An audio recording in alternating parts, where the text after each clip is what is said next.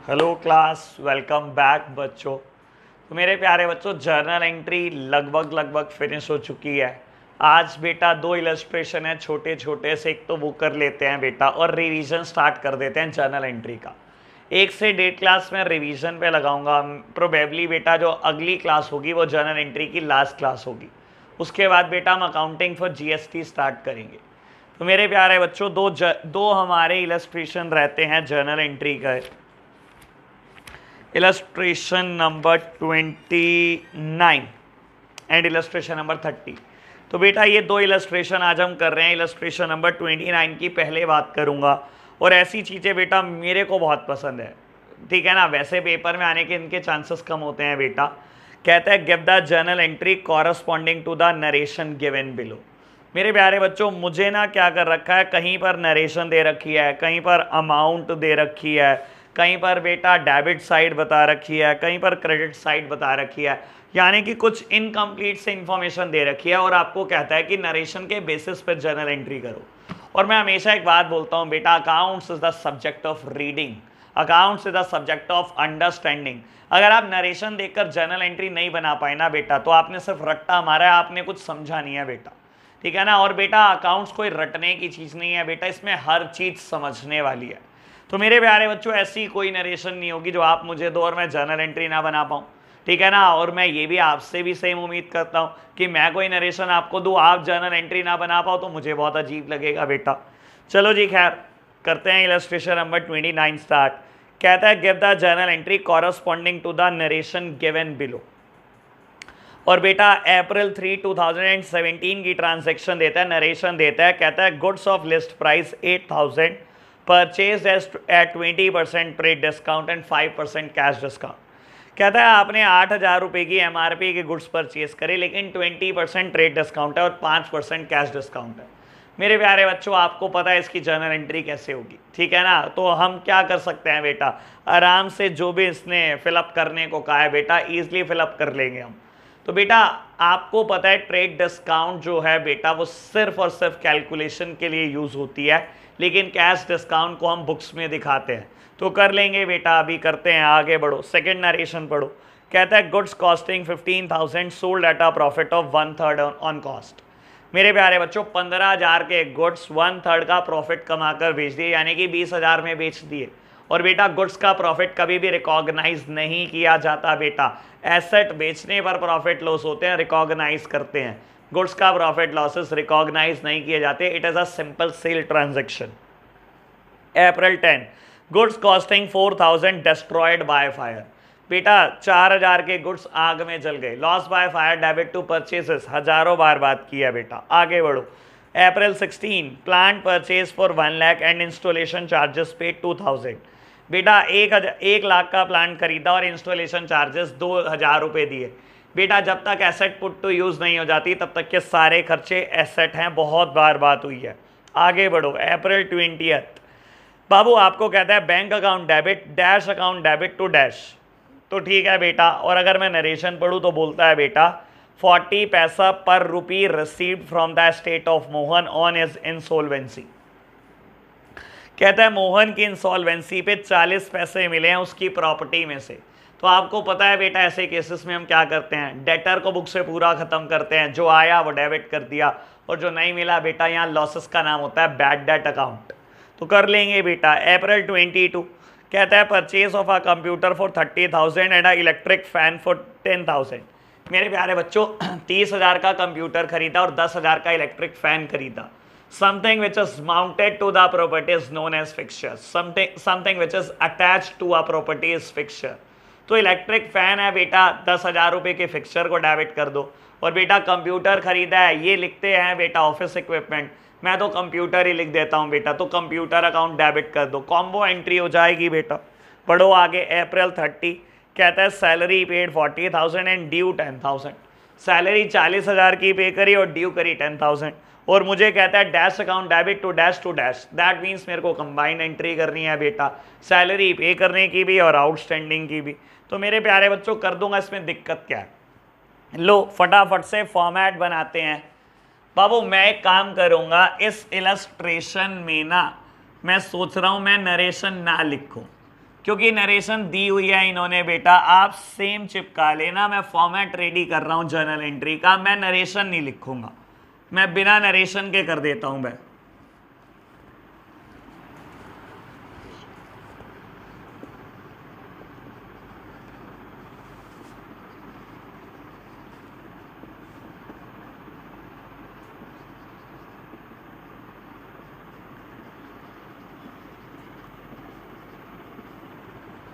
लो बच्चों स्टार्ट करते हैं हम फटाफट से बेटा। अप्रैल थर्ड की ट्रांजैक्शन है 2017 बेटा कहता है goods of list price 8000 purchase at 20 percent trade discount and 5 percent cash discount चलो जी 8000 की एमआरपी के गुड्स खरीदे 20 परसेंट ट्रेड डिस्काउंट बेटा 20 परसेंट ऑफ़ 8000 इज़ 1600 तो बेटा 20 परसेंट ट्रेड डिस्काउंट है और कहता है बेटा दो परसेंट कैश डिस्काउंट है।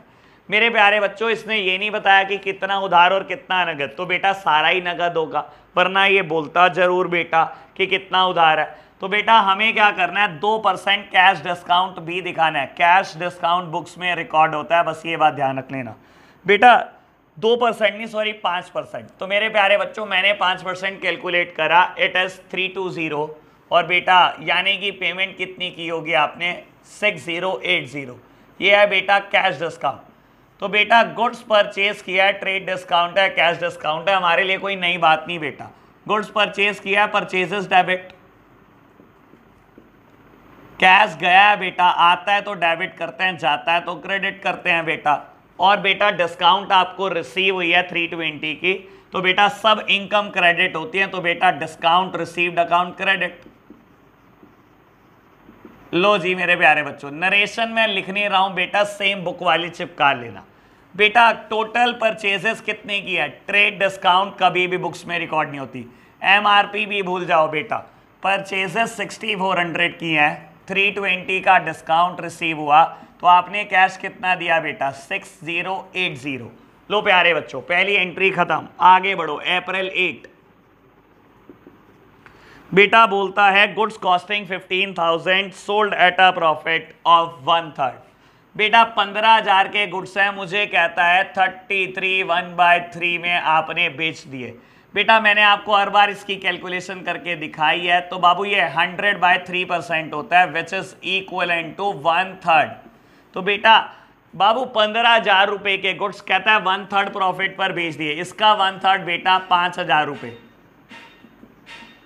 जाने की बेटा आपने गुड्स कितने के बेच दिए? बीस हज़ार रुपए के गुड्स बेच दिए। और मेरे प्यारे बच्चों, अगर मैंने बीस हज़ार रुपए के गुड्स बेच दिए तो क्या करूँ? प्रॉफिट कभी रिकॉग्नाइज नहीं करते परचेज और सेल पर। तो एंट्री क्या होगी बेटा? Cash account debit to sales account being goods sold कितने रुपए बेटा? ट्वेंटी थाउज़ेंड चलो जी, बढ़ो आगे बेटा ट्रांजैक्शन ऑन अप्रैल टेन दस अप्रैल की ट्रांजैक्शन है, बेटा। कहता है goods costing four thousand destroyed by fire चार हज़ार के गुड्स आग लगकर नुकसान हो गया, बेटा। बाबू, सारे नुकसान डेबिट होते हैं। नॉमिनल अकाउंट का रूल बोलता है loss by fire account debit बेटा क्रेडिट किसको करूँ? बाबू गुड्स आता है तो परचेजेस डेबिट यहाँ पर गुड्स खत्म हो रहे हैं, बेटा तो परचेजेस के इंपैक्ट को कम कर दो। टू परचेज अकाउंट बाबू, अरे यार, मैं क्यों लिख रहा हूँ? बाबू, मैंने यहाँ पर भी नरेशन लिख दी। मैं क्यों लिख रहा हूँ? नरेशन छोड़ दो बेटा नरेशन नरेशन बुक वाली चिपका लेना। लो बेटा, बढ़ते हैं आगे नेक्स्ट ट्रांजेक्शन ऑन अप्रैल 16 बेटा, सब कंसेप्ट किए हुए हैं आपने, ये तो सिर्फ़ एक काइंड ऑफ़ रिवीजन हो रहा है और कुछ नहीं।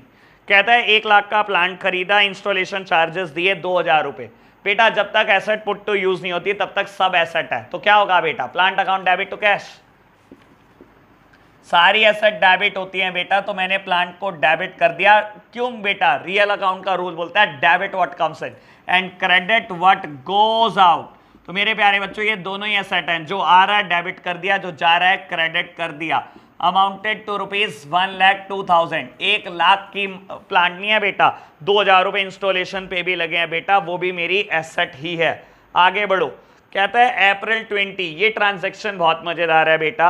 कहता है, बेटा अप्रैल ट्वेंटी को forty paisa per rupee received from the state of Mohan on his insolvency बेटा मोहन इंसॉल्वेंट हो गया, दिवालिया हो गया, कंगाल हो गया, कहता है उससे फोर्टी पैसा मिले मेरे प्यारे बच्चों फोर्टी पैसा मिले हैं तो जो आ रहा है वो तो डेबिट करो। और इन्होंने बेटा क्वेश्चन में बैंक को डेबिट किया हुआ है, यानी कि बेटा चेक आया होगा उससे। सिंपल सी बात है चेक आया होगा उससे। क्वेश्चन में इन्होंने बैंक को पहले से ही डेबिट कर रखा है बेटा। और डेबिट कितने से कर रखा है बेटा? ये फिगर मुझे दे रखे है थ्री थाउज़ेंड बस, बाकी कुछ क्वेश्चन में नहीं दिया, बाकी नरेशन दी हुई है। बेटा, मोहन इंसॉल्वेंट हो गया तो मोहन को तो आपने बुक से पूरा ही खत्म किया होगा। मोहन आपका डेटर था डेबिट किया होगा बुक से खत्म करने के लिए। क्रेडिट कर दो, कर दिया क्रेडिट मेरे प्यारे बच्चों, जब उसने कुछ ही पैसा दिया, कहता है फोर्टी पैसा दिया तो बेटा बाकी बाकी सब लॉसेस और यहाँ लॉस का नाम क्या होता है बेटा? बैड डेट अकाउंट डेबिट सारे लॉसेस डेबिट होते हैं बेटा यहाँ बैड डेट अकाउंट डेबिट हो जाएगा। अब काम की बात बेटा अमाउंट की। बेटा, कहता है forty paisa in a rupee is realise that means forty percent ही पैसे आए हैं बेटा। बाकी सिक्सटी परसेंट डूब गए हैं। तो बेटा, मैंने यहाँ सिक्सटी परसेंट अमाउंट दिखानी है, जो मेरी डूब गई, जो बैड डेट हो गए। और यहाँ पर बेटा पूरी हंड्रेड परसेंट अमाउंट दिखानी है कि मोहन से लेने कितने थे। मुझे बेटा थ्री थाउज़ेंड के अमाउंट पता है which is equal and to forty percent मुझे कितने पैसे मिले? बेटा तीन हज़ार रुपये मिले हैं मोहन से। और कहता है फोर्टी परसेंट पैसे दिए हैं। जब फोर्टी परसेंट पैसे दिए हैं and forty percent is equal and two three thousand तो क्या मैं हंड्रेड परसेंट अमाउंट नहीं निकाल सकता? निकाल लूँगा डिवाइड कर दो बेटा। थ्री थाउज़ेंड रुपी मिले which is equal and to forty percent तो बेटा हंड्रेड परसेंट किसके बराबर होगा? ये लो हंड्रेड परसेंट ऐसे निकाल लो। हंड्रेड परसेंट किसके बराबर होगा? टू फाइव फिफ्टीन हंड्रेड यानी कि बेटा, लेने कितने थे बेटा? लेने थे मोहन से सेवेंटी फाइव हंड्रेड और मोहन ने दिए कितने बेटा? फोर्टी पैसा इन रुपी। बाबू, इसका फोर्टी परसेंट दिए थ्री थाउज़ेंड दिए। तो बेटा, नहीं कितने दिए? Sixty percent sixty percent of seventy five hundred is forty five hundred तो बेटा सिर्फ़ कैलकुलेशन मुश्किल थी जर्नल एंट्री तो बहुत ही आसान थी है लो प्यारे बच्चों, इतनी सारी जर्नल एंट्री मैंने कर दिया लेकिन मैं बिना नरेशन के कर रहा हूँ, क्योंकि क्वेश्चन ने मुझे नरेशन दी है। फटाफट से आगे बढ़ते हैं बेटा, और 10 मिनट में चैप्टर को फिनिश करते हैं। और 10 मिनट में बेटा चैप्टर बिल्कुल फिनिश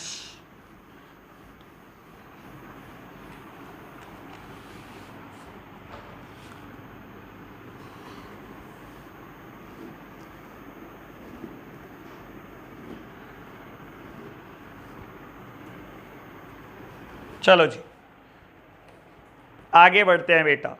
बाबू, आगे आपको बोलता है April 22 purchase of a computer for thirty thousand and a electric fan for ten thousand लो बेटा अप्रैल 22 बाबू, आपको कहता है, एक तो आपने खरीदा है कंप्यूटर और एक आपने खरीदा इलेक्ट्रिक फ़ैन और मेरे को बेटा क्वेश्चन ने क्या करा?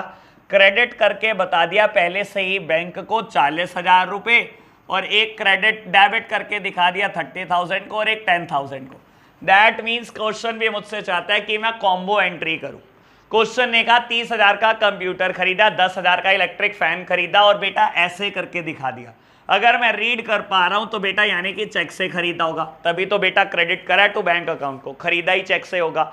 रही बात डेबिट किसको करना है? बेटा तीस हज़ार का कंप्यूटर खरीदा ना तो तीस हज़ार की अमाउंट के सामने लिख दो कंप्यूटर और बेटा, दस हज़ार का आपने क्या खरीदा है बेटा? इलेक्ट्रिक फ़ैन इलेक्ट्रिक फ़ैन बेटा फिक्सचर्स लिख दो। फिक्सचर्स अकाउंट डेबिट लो बेटा नरेशन मैं लिख नहीं रहा हूँ क्वेश्चन हमारा यहाँ पर एक एंट्री का रह गया बस। लो जी लास्ट एंट्री बेटा, कहता है salary paid and salary due amount दिया पे की चालीस हज़ार और ड्यू की दस हज़ार। बस बेटा। बाबू, सारे खर्चे डेबिट होते हैं। ठीक है ना? नॉमिनल अकाउंट का रूल बोलता है debit all the expenses and losses तो सैलरी पे करी है बेटा डेबिट कर दो। सैलरी अकाउंट डेबिट क्वेश्चन ने क्या करा? मुझे क्रेडिट में दो फिगर ऐसे करके दिखाई। दो फिलिंग द ब्लैंक्स दिखाए बेटा टू करके। दैट मींस क्वेश्चन मुझसे चाहता है कि मैं क्या करूँ? कंबाइंड एंट्री बेटा, जब आपने सैलरी पे की होगी तो कैश गया होगा चालीस हज़ार रुपए।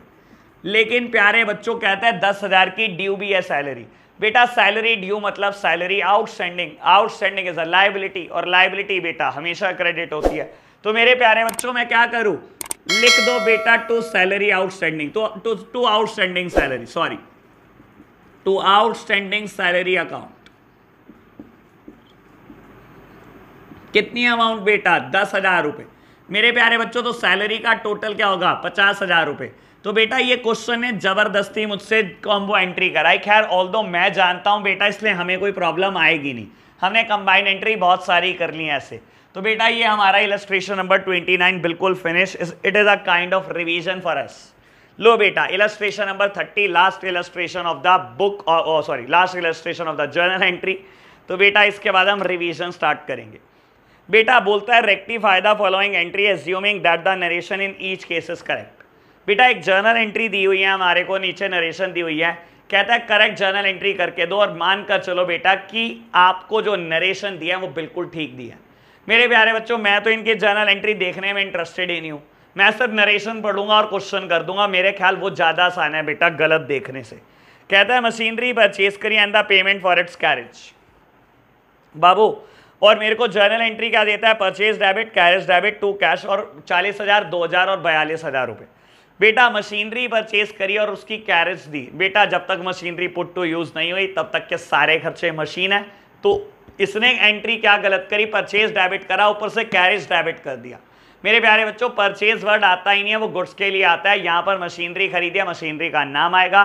कैरेज अलग से नहीं आएगा बेटा, जब तक मशीनरी पुट टू यूज़ नहीं हुई, तब तक के सारे खर्चे मशीन ही है। तो बेटा, होगा क्या? मशीनरी डेबिट होगी to cash forty two thousand खत्म कहानी। लो जी बेटा अगली जर्नल एंट्री कहता है goods purchase for twenty five thousand and carriage paid two hundred बाबू, पच्चीस हज़ार के गुड्स खरीदे, दो सौ की कैरेज दी। अभी कर लेंगे बेटा, आगे बढ़ो। बाबू, अगली narration sale of old chair for twelve hundred and old newspaper for two hundred बेटा, कुछ पुराना फर्नीचर बेचा, कुछ पुराने फर्नीचर सॉरी न्यूज़पेपर बेचे, हो जाएगा। आगे बढ़ो। Amount receive from Rakesh which were return of as bad debt last year बेटा, राकेश की आज दिमाग में पता नहीं कहाँ से ईमानदारी आ गई बेटा, और क्या कर रहा है? पिछले साल हमने इसको बैड डेट कर दिया था, आज फिर भी पैसे दे गया ये। चलो जी बेटा, आगे बढ़ते हैं। Goods costing two thousand given away as charity बेटा चैरिटी में दान में आपने गुड्स दे दिए हैं बेटा, हो जाएगी entry and payment of income tax तो मेरे प्यारे बच्चों क्वेश्चन अगेन बहुत सिंपल है। रेक्टिफाई एंट्री मुझे पास करनी है, मैं अभी कर देता हूँ रेक्टिफिकेशन इनका। लो जी प्यारे बच्चों, इसी फॉर्मेट में कर देता हूँ बेटा। नरेशन मैं फिर से नहीं लिखने वाला क्योंकि बुक ने नरेशन दी हुई है। आप लेकिन ऐसा कुछ नहीं करेंगे। पेपर में विद नरेशन लिख कर आएँगे, अगर ऐसा क्वेश्चन भी आया तो। ठीक है ना? मैं टाइम बचाने के लिए नरेशन छोड़ रहा हूँ बेटा।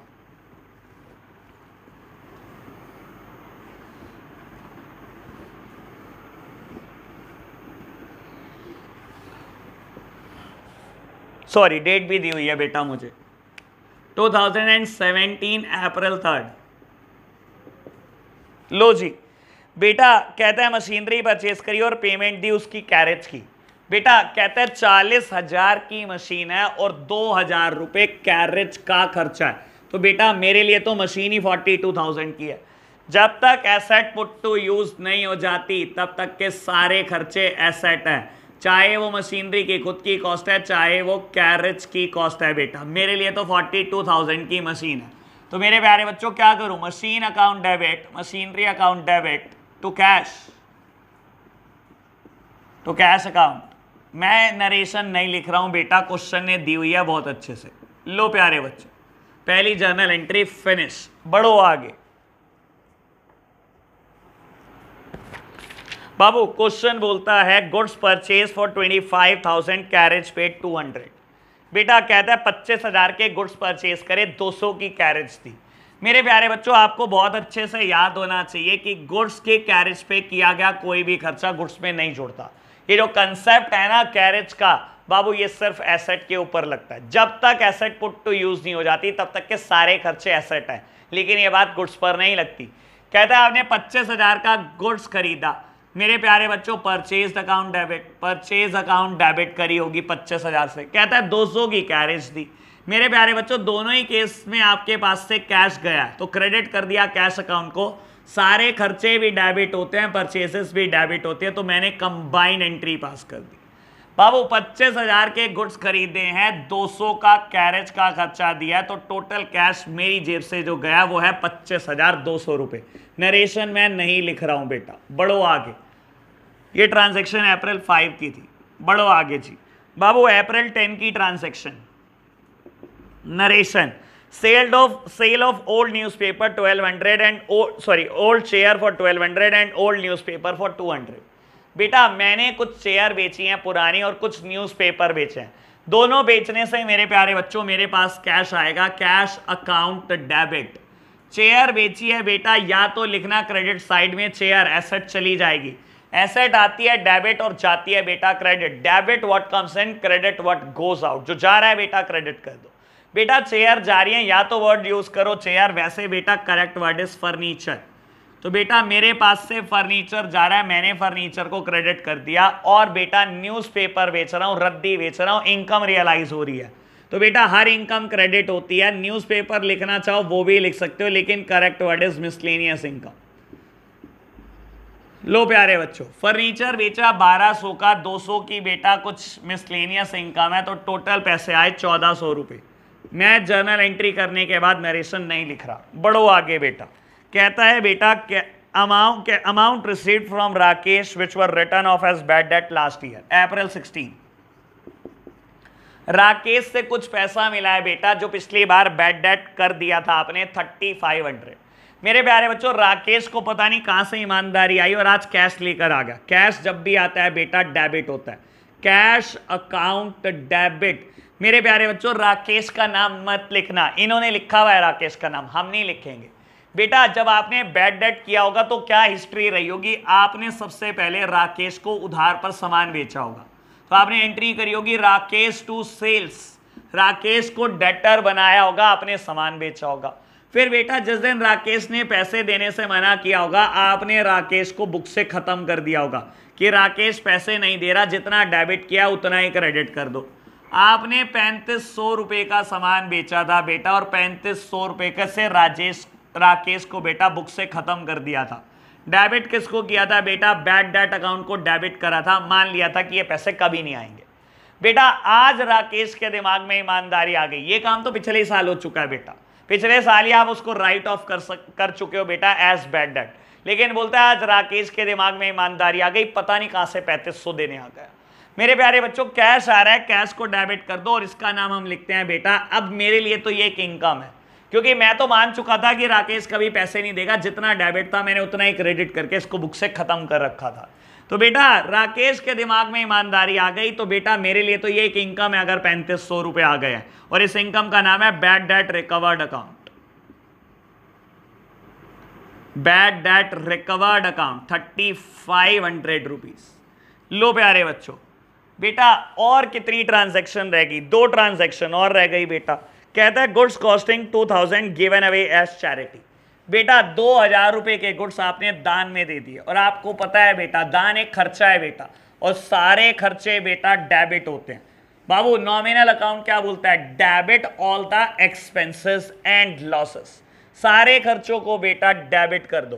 तो मेरे प्यारे बच्चों, मैं चैरिटी को करूँगा डेबिट और बेटा जैसे ही गुड्स दिए आपने तो बेटा कहीं ना कहीं जेब से क्या होगा? गुड्स चले जाएँगे, बेटा। गुड्स आते हैं तो परचेजेस डेबिट होते हैं, जाते हैं तो परचेजेस क्रेडिट हो जाती हैं, बेटा।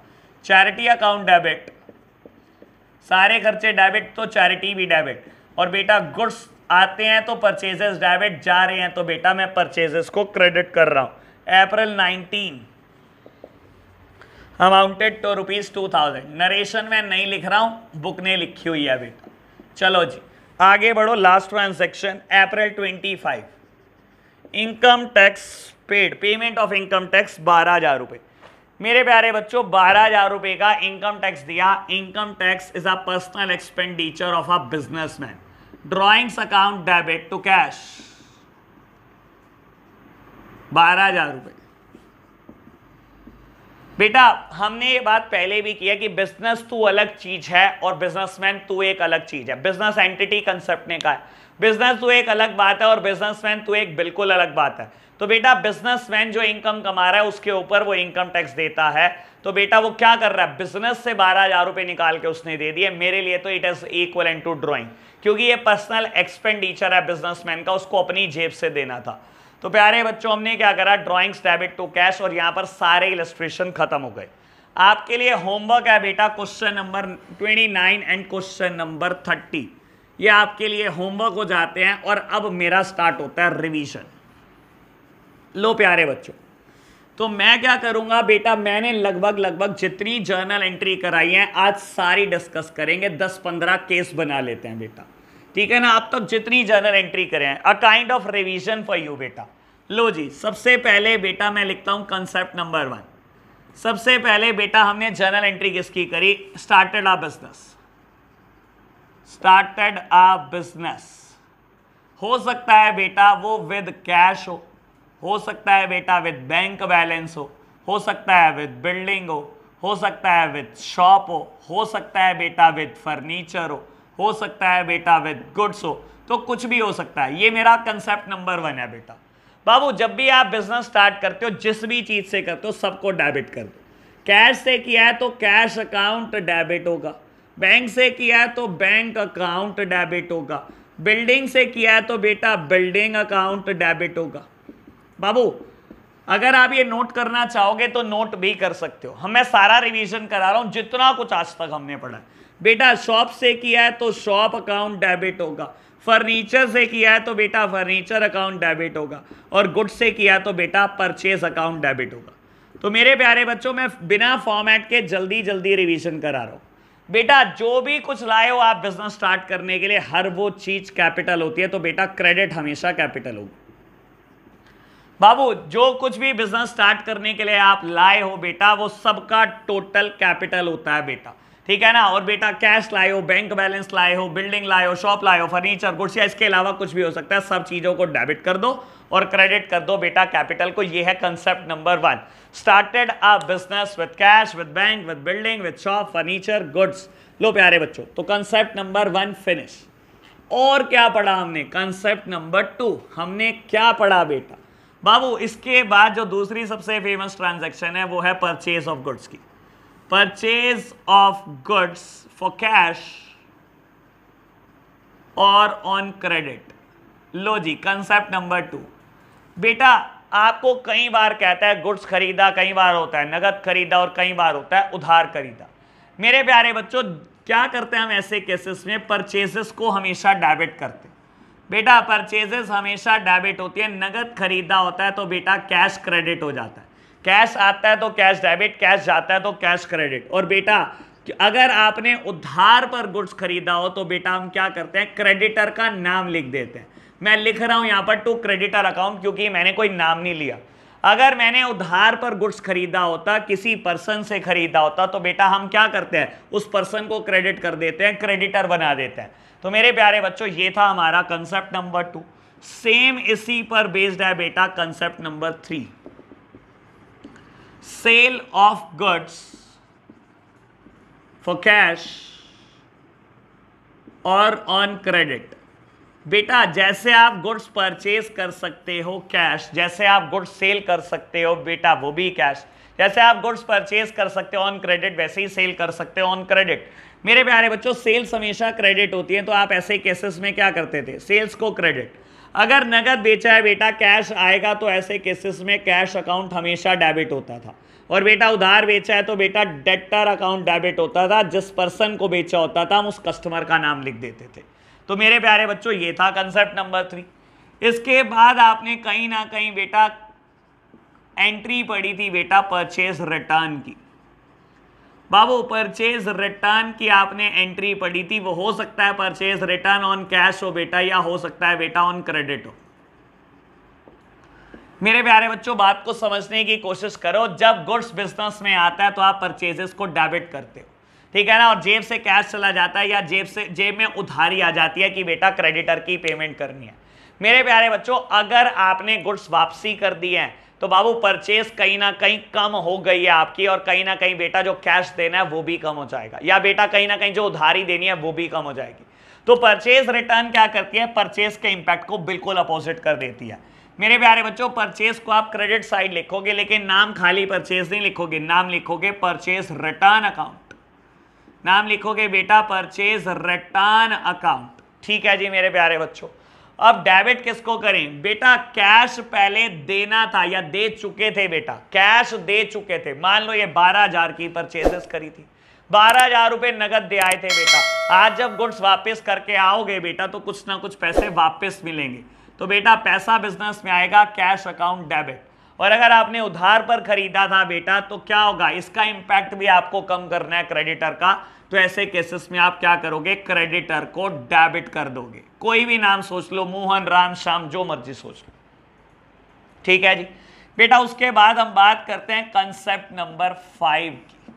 बेटा, कहीं ना कहीं बात कर रहा हूँ अब मैं सेल्स रिटर्न की।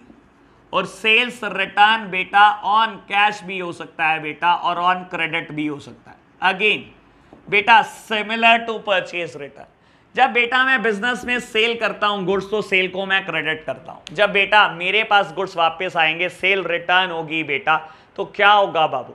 कहीं ना कहीं सेल का इंपैक्ट कम करना पड़ेगा। कहीं ना कहीं बेटा कैश वापस करना पड़ेगा। कहीं ना कहीं बेटा डेटर कम हो जाएँगे।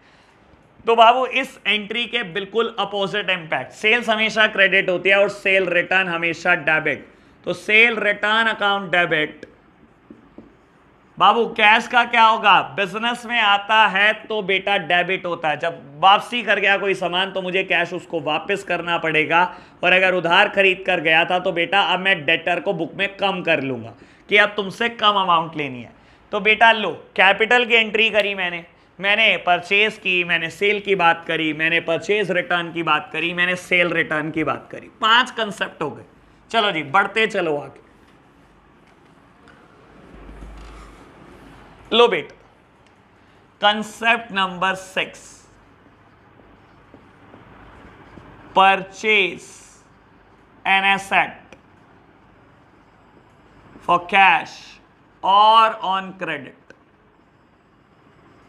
बेटा, कोई एसेट खरीदी, आपने चाहे कैश खरीदी है चाहे क्रेडिट मेरे प्यारे बच्चों, नियम क्या कहता है? नियम कहता है रियल अकाउंट का एसेट के ऊपर नियम लगता है रियल अकाउंट का जो कहता है डेबिट व्हाट कम्स इन जो आ रहा है बेटा डेबिट कर दो। लैंड खरीदी है बेटा लैंड डेबिट कर दो। आपको लगता है आपने फर्नीचर खरीदा है बेटा फर्नीचर डेबिट कर दो। मेरे प्यारे बच्चों, आपको लगता है आपने कोई और एसेट खरीदी है प्लांट खरीदा है बेटा प्लांट डेबिट कर दो। आपको लगता है बेटा आपने हॉर्स खरीदा है लाइव स्टॉक डेबिट कर दो। मेरे प्यारे बच्चों, कोई भी एसेट हो सकती है, कोई भी एसेट शो ऑफ़ बिल्डिंग जो भी एसेट हो बेटा, जो भी खरीदी है डेबिट कर दो। डेबिट व्हाट कम्स इन और बेटा जो जा रहा है, वो बेटा क्रेडिट कर दो। या बेटा और ऑन चेक भी लिख लो। बाय चेक सॉरी लो मेरे प्यारे बच्चों। ऐसा हो सकता है आपने नगद खरीदी हो। नगद खरीदी हो तो बेटा कैश अकाउंट क्रेडिट हो जाएगा, जेब से कैश चला जाएगा। बेटा अगर चेक से खरीदी हो तो बैंक बैलेंस कम हो जाएगा। और मेरे प्यारे बच्चों, अगर आपको लगता हो कि आपने उधार खरीद दिया तो कहीं ना कहीं बेटा बुक्स में क्रेडिटर आ जाएँगे। तो बेटा, ये होती है एसेट खरीदने की एंट्री लो प्यारे बच्चों, ऐसे ही एसेट बेचने की entry concept number seven sale of an asset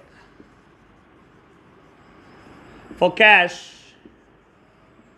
credit या बेटा बाय चेक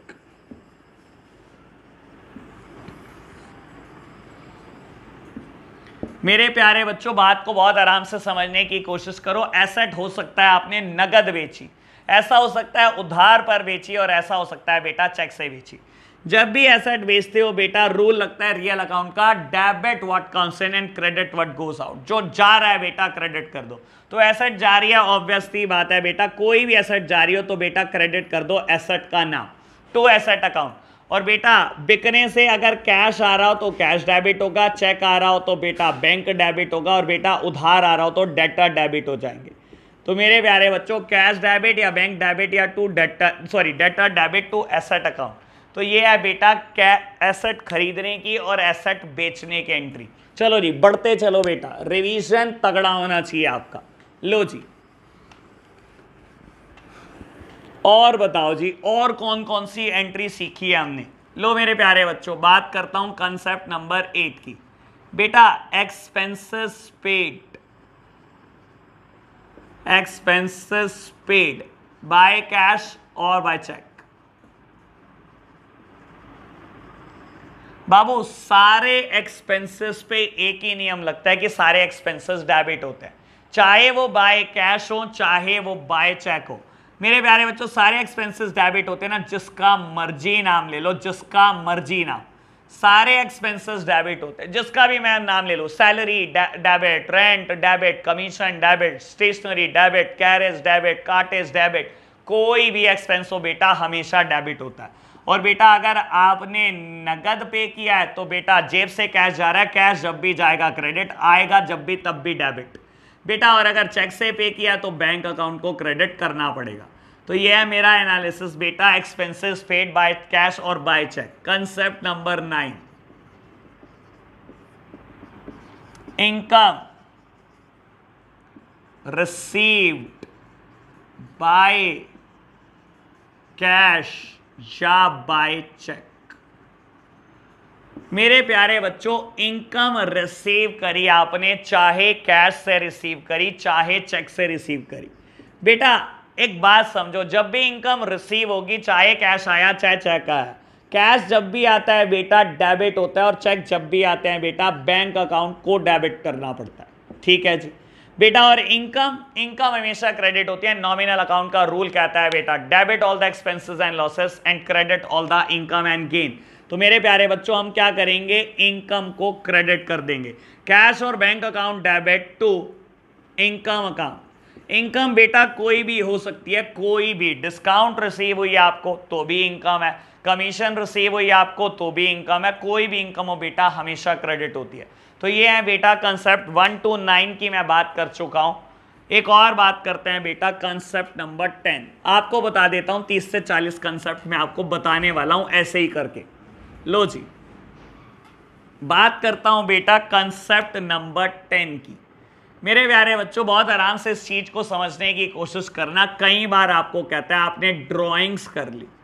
ठीक है ना? ड्राइंग्स कह दे प्राइवेट एक्सपेंसेस कह देता है आपको, या आपको पर्सनल एक्सपेंसेस कह देता है, या आपको इनकम टैक्स कह देता है, या आपको लाइफ इंश्योरेंस कह देता है, पता नहीं क्या क्या कह देता है।